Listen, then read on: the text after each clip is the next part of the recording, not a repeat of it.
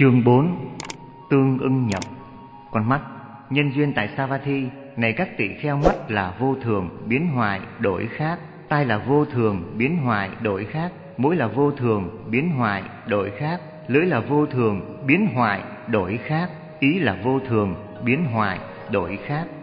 Này các tỷ kheo Ai có lòng tin, có tín giải đối với những pháp này? Vị ấy được gọi là tùy tín hành. Đã nhập chánh tánh Đã nhập chân nhân địa Đã vượt phàm phu địa.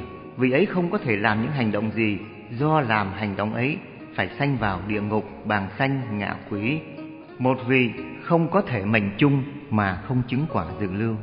Đối với ai này các tỷ kheo Kham nhẫn một ít thiền quán Như vậy với trí tuệ và những pháp này Vị ấy được gọi là tùy pháp hành.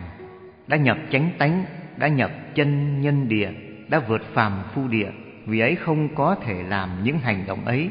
Do làm hành động ấy phải sanh vào địa ngục Bàng sanh ngạ quỷ. Một vị không có thể Mệnh chung mà không chứng quả dự lưu. Với ai? Này các tỷ kheo Đối với những pháp này Biết rõ như vậy, thấy như vậy Vì ấy được gọi là đã chứng dự lưu Không còn bị thối đọa Quyết chắc hướng đến giác ngộ. Sắc như kinh trên Chỉ thế sắc, thanh, hương, vị, xúc, pháp. Bằng nhãn nhĩ tỷ thiệt thân ý.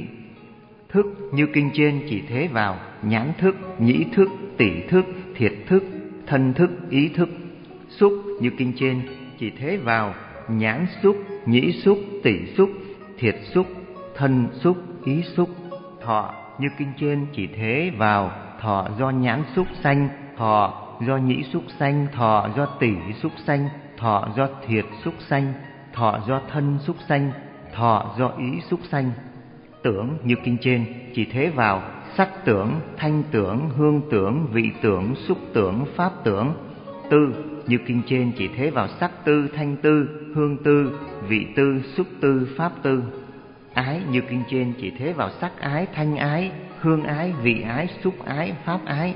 Giới như kinh trên chỉ thế vào địa giới, thủy giới, hỏa giới, phong giới, không giới, thức giới. Uẩn như kinh trên chỉ thế vào sắc uẩn, thọ uẩn, tưởng uẩn, hành uẩn, thức uẩn,